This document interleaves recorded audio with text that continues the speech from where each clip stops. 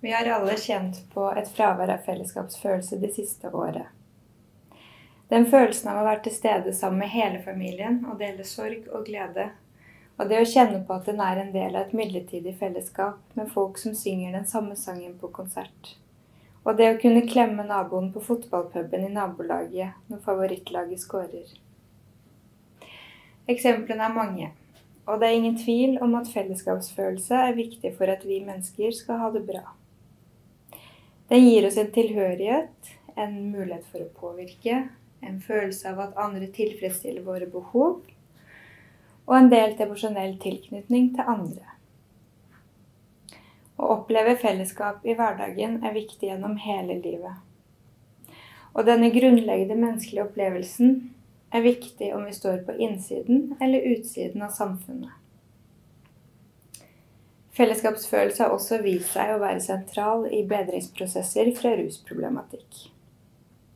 Både for å starte opp en bedringsprosess, for å moderere negative effekter på unge sin utvikling, og for å vedlikeholde bedringsprosess som kan vare livet ut.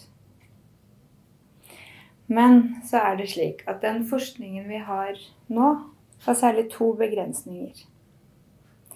For det første så har den bare sett på betydningen av et eneste fellesskap om gangen, og da gjerne terapeutiske eller edru fellesskap. Og for det andre så har man hatt et utelukkende fokus på positiv fellesskapsfølelse. Det er jo slik at den positive fellesskapsfølelsen er viktig for at vi skal ha det bra. Og vi trenger inngående kunnskap om enkelte fellesskap. Men disse begrensningene de gjør at vi mangler en helhetlig forståelse av hvordan fellesskap og fellesskapsfølelser påvirker bedring fra rusproblematikk. F.eks. så mister vi muligheten til å forstå samspill og interaksjoner mellom fellesskap som inngår i denne sammenhengen mellom fellesskapsfølelse og bedring. Så for å forstå dette på en litt mer helhetlig måte, så har jeg og mine medforfattere benyttet oss av et mer utvidet fellesskapsfølelsesbegrep. Dette begrepet inkluderer alle fellesskapene som personer med rusproblematikk kan ha. Det være seg familie, lokalsamfunn, selvhjelpsgrupper, terapeutiske fellesskap eller vennegjenger. Dette utvidede begrepet inkluderer også negativ fellesskapsfølelse. Det er en følelse av å ikke tilhøre, av avstand, frustrasjon og fremmedgjøring til et fellesskap som man er en del av. Kanskje er man en del av et geografisk fellesskap som vekker slike opplevelser, eller tilhører en familie som en helst ikke vil være en del av. Et overraskende funn i forskningen er at også denne negative fellesskapsfølelsen kan være viktig for at vi skal ha det bra. Det å aktivt ta avstand fra destruktive fellesskap kan være positivt for helsa vår. Det gjør oss motstandsdyktige, og det kan være beskyttende. Så for å forstå hvordan ulike fellesskap og fellesskapsfølelser påvirker bedring fra rusproblematikk, analyserte jeg og medforsker Morten Brodal et intervjumateriale fra brukertilfredshetsevalueringen. Dette materialet inkluderte intervju med 16 informanter som mottok kommunale tjenester for rusproblematikk fra flere ulike norske kommuner og regioner.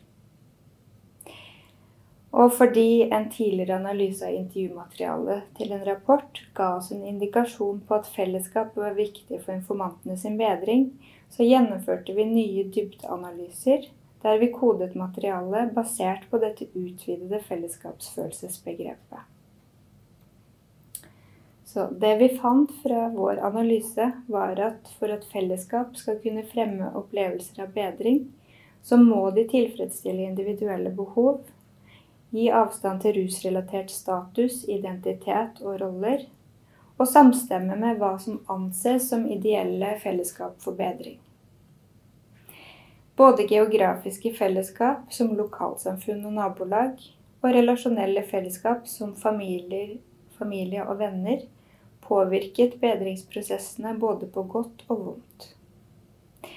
Videre var det slik at de vi intervjuet, beskrev fellesskap de ideelt sett skulle hatt for å oppleve bedring. Disse ideelle fellesskapene ble ofte beskrevet som steder hvor de kunne oppleve å komme til nytte, gjøre meningsfulle aktiviteter og lære fra andre som hadde en lengre bedringsprosess bak seg. Vi fant altså at både positive og negative fellesskapstilknytninger i geografiske, relasjonelle og ideelle fellesskap tar del i bedringsprosesser fra rusproblematikk. Bedring skjer ikke i isolasjon, og våre funn viser at det kan være viktig å jobbe systematisk med opplevelser av fellesskap og fellesskapsfølelse i og etter rusbehandling. Både det å fremme en positiv fellesskapsfølelse for at man skal klare å stå i en langvarig bedringsprosess, og å skape avstand til fellesskap som kan hindre bedring. Derfor har vi nå benyttet funnene våre til å utvikle et forslag til et verktøy og tilnærminger til hvordan man kan kartlegge og jobbe systematisk med opplevelser av fellesskap både i og etter behandling. Jeg håper at dette arbeidet kan være til inspirasjon og bidra til en bedre hverdag for de som er i bedringsprosesser fra rusproblematikk, men også profesjonelle som hjelper dem i slike prosesser, og de som står dem nær. Takk for meg.